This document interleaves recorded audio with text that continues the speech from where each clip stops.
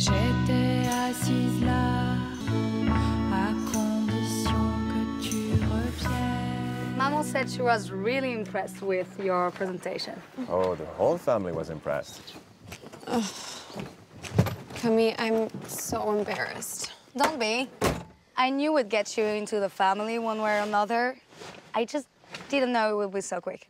I promise now that we're working together. No, Emily, it's really fine. I can control you get into bed with. Is this gonna be weird? Oh, we're all adults.